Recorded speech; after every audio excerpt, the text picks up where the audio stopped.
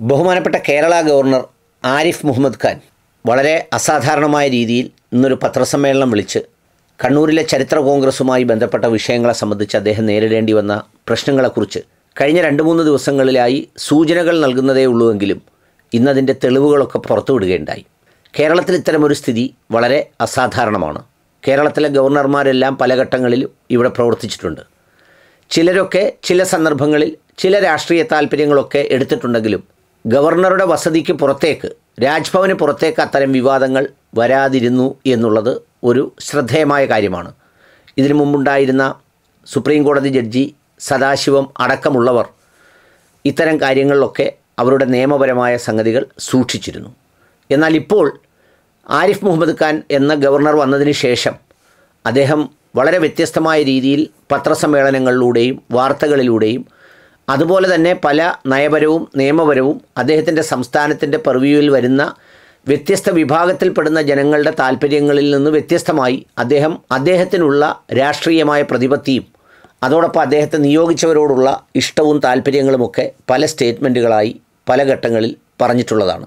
ഇപ്പോൾ ഈ പറയുന്ന ഒരു മുൻ എം പി കൂടിയായ രാകേഷിന്റെ ഭാര്യയുടെ നിയമനവുമായി ബന്ധപ്പെട്ടും വി സി നിയമനവുമായി ബന്ധപ്പെട്ടൊക്കെ ഉണ്ടായ അതൃപ്തിയാണ് ഇത്തരമൊരു പൊട്ടിത്തെറിയിലേക്ക് കലാശിച്ചത്. എന്തായാലും ഗവർണറും ഭരണകൂടവും സംസ്ഥാനവും തമ്മിലുണ്ടാകുന്ന ഏറ്റുമുട്ടലുകൾ പൊതുവിൽ ഈ സ്ഥാനങ്ങൾക്കൊന്നും യോജിച്ചതല്ല. അതോടൊപ്പം തന്നെ ഒരു സംസ്ഥാനത്തിന്റെ ഭരണനിർവഹണത്തിനും യോജിച്ചതല്ല എന്ന നിലപാടിൽ നിന്നുകൊണ്ട് തന്നെ അദ്ദേഹം സൂചിപ്പിച്ച രണ്ട് മൂന്ന് വിഷയങ്ങളെ സംബന്ധിച്ച് പ്രതികരിക്കണമെന്ന് തോന്നി. നിഷ്പക്ഷ നിലപാടിൽ അതിനെക്കുറിച്ചാണ് എനിക്ക് പറയാനുള്ളത്. പത്രസമ്മേളനം നടത്തി ആരിഫ് മുഹമ്മദ് ഖാൻ പറഞ്ഞ കാര്യങ്ങൾക്ക് ഇടതുപക്ഷ കേന്ദ്രങ്ങളും മുഖ്യമന്ത്രിയും അടക്കമുള്ളവർ വളരെ കടുത്ത ഭാഷയിൽ മറുപടി പറഞ്ഞുകൊണ്ട് ഏതാനും മണിക്കൂറുകൾക്ക് മുമ്പ് രംഗത്ത് വരികയുണ്ടായി.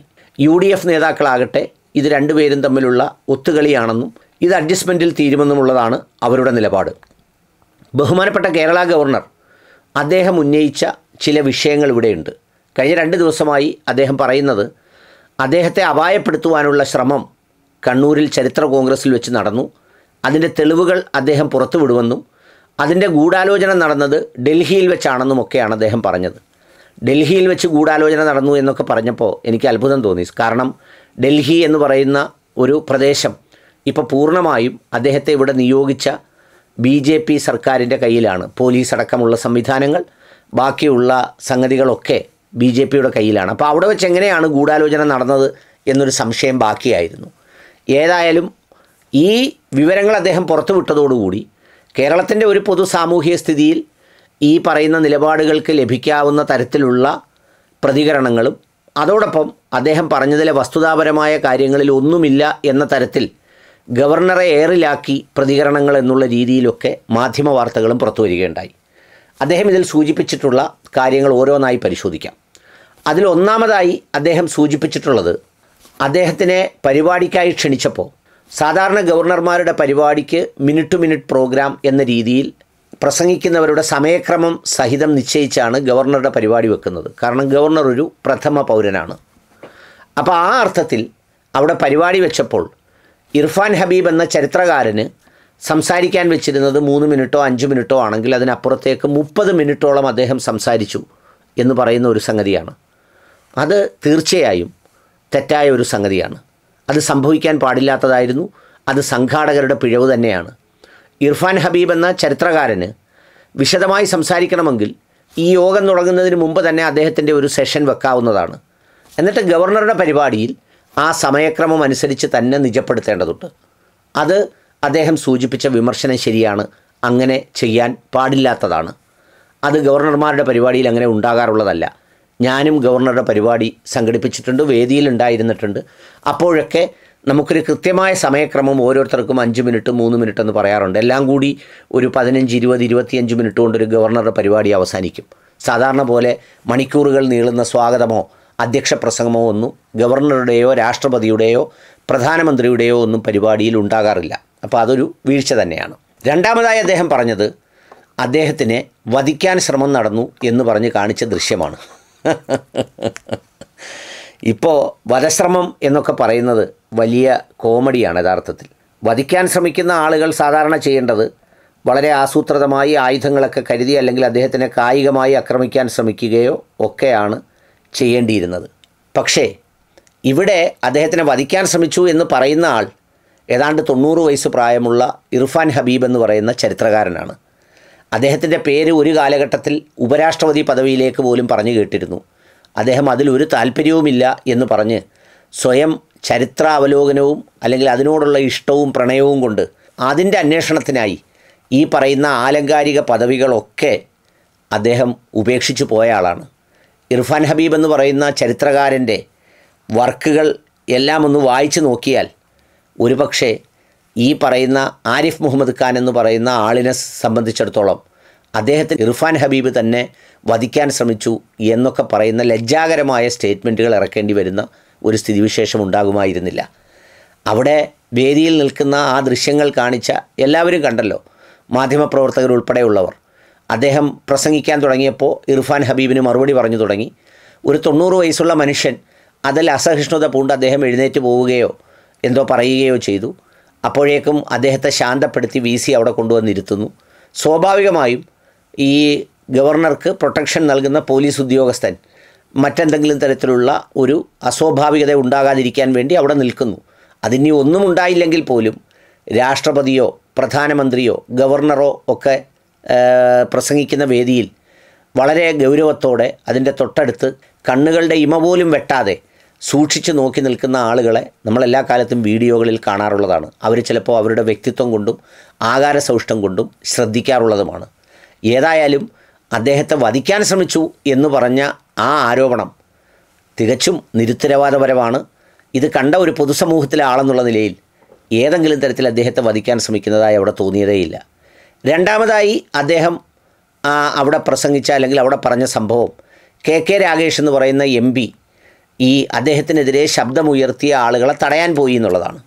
സ്വാഭാവികമായി ഇത്തരമൊരു വേദിയിൽ അത്തരമൊരു എന്താ പറയുന്നത് ഒരു പരാമർശം ഉണ്ടാകാത്ത രീതിയിൽ അതിനൊരു നടപടിക്രമമൊക്കെ സൂക്ഷിക്കേണ്ടത് സർവകലാശാലയുടെ ഒരു ബാധ്യത കൂടിയാണ്.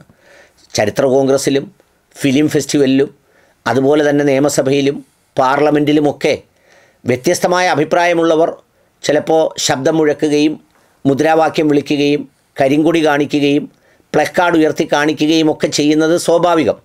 ഇപ്പോൾ ആരിഫ് മുഹമ്മദ് ഖാനെ പോലെയുള്ള ഒരാൾ അദ്ദേഹം ആ വേദിയിൽ അതിനു മുമ്പുള്ള കാലഘട്ടങ്ങളിൽ പുറത്തു പറഞ്ഞിട്ടുള്ള സംഗതികൾ വെച്ച് അദ്ദേഹം പറഞ്ഞാൽ അതിൽ പ്രതിഷേധിക്കാനായി ഒരുപക്ഷെ തയ്യാറായിട്ട് അങ്ങനെ ആളുകൾ വന്നിട്ടുണ്ടാവും. ഡോക്ടർ മൻമോഹൻ സിംഗ് ഒരിക്കൽ ജെ എൻ യുവിൽ പോയിട്ട് പുറ പുറത്തേക്ക് വരുമ്പോൾ അദ്ദേഹത്തിനെ അതിന്റെ വഴിയിൽ വെച്ച് ആളുകൾ കുട്ടികൾ മുദ്രാവാക്യം വിളിച്ച് ബഹളം വെച്ചപ്പോൾ വാഹനം നിർത്തി അതിൽ നിന്നിറങ്ങി അവരുടെ അടുത്ത് ചെന്ന് അവരുടെ പ്രശ്നം എന്താണെന്ന് കേൾക്കാൻ സൗമനസ്യം കാണിച്ച നേതാക്കൾ നമ്മുടെ രാജ്യത്തുണ്ട്. അപ്പോൾ സ്വാഭാവികമായി അങ്ങനെ പ്രതിഷേധിക്കുന്ന ആളുകളെ അവിടെ ചെന്ന് നിങ്ങൾ വിഷയമുണ്ടാക്കരുത് ശാന്തപ്പെടുത്തി.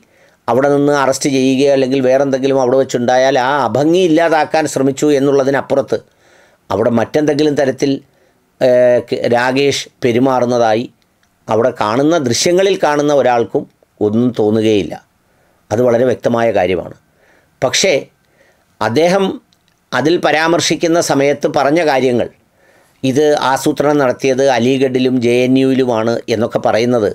ഇത് കഴിഞ്ഞ കുറേ കാലങ്ങളായി നമ്മുടെ രാജ്യത്ത് പാടിക്കൊണ്ട് നടക്കുന്ന തീവ്രവാദ കേന്ദ്രങ്ങളാണ് ഇത്തരം ലോകത്തിന് തന്നെ അഭിമാനകരമായ സ്ഥാപനങ്ങൾ എന്ന് പറയുന്ന ആ സ്ഥാപനങ്ങളെ ഒരു തീവ്രവാദി പട്ടികയിൽ ഉൾപ്പെടുത്താനും രാജ്യദ്രോഹ പട്ടികയിൽ ഉൾപ്പെടുത്താനും എന്തെങ്കിലും തരത്തിലുള്ള ഭരണകൂടങ്ങളോട് വിയോജിപ്പുള്ള ശബ്ദങ്ങൾ ഇല്ലാതാക്കാനും ശ്രമിക്കുന്നതിന്റെ ഒരു കൂടെ പാടിയ പാട്ട് പോലെയാണ് അദ്ദേഹം അത് പറഞ്ഞത്. ചുരുക്കത്തിൽ അദ്ദേഹം ഈ പറയുന്ന ഒരു വീഴ്ചകൾ ഈ പരിപാടിയിൽ ഉണ്ടായിട്ടുണ്ടെങ്കിലും അതിനപ്പുറത്ത് അദ്ദേഹം കുറേ നാളുകളായി പറയുന്നത് പോലെ അദ്ദേഹത്തെ ആരെങ്കിലും വധിക്കാൻ ശ്രമിക്കുകയോ അല്ലെങ്കിൽ അദ്ദേഹത്തിന് അത്തരം എന്തെങ്കിലും സംഗതികൾ ഉണ്ടായതായി ഒന്നും തോന്നുന്നതേയില്ല.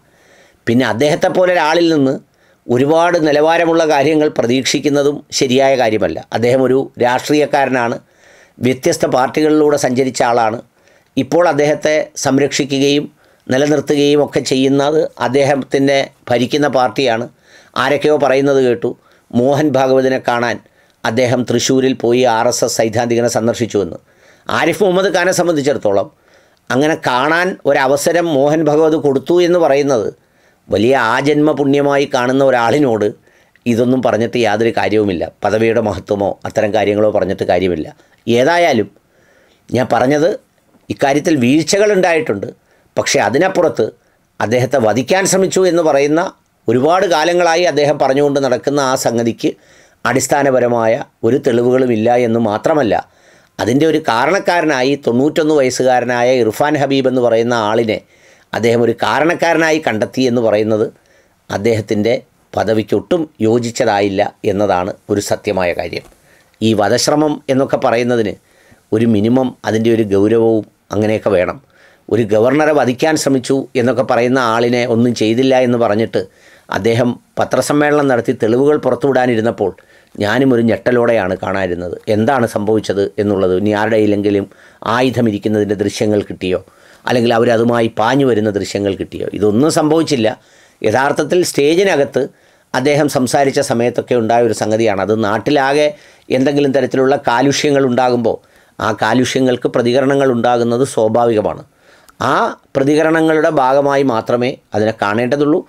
ഇനി അത് ഒഴിവാക്കാമായിരുന്നു എന്ന് ചോദിച്ചാൽ വേണമെങ്കിൽ ഒഴിവാക്കാമായിരുന്നു എന്നുള്ളതിനപ്പുറത്ത് വധശ്രമം എന്നൊക്കെ പറയുന്നത് തികച്ചും ബാലിഷ്യമായ ഒരു വാദം മാത്രമാണ്.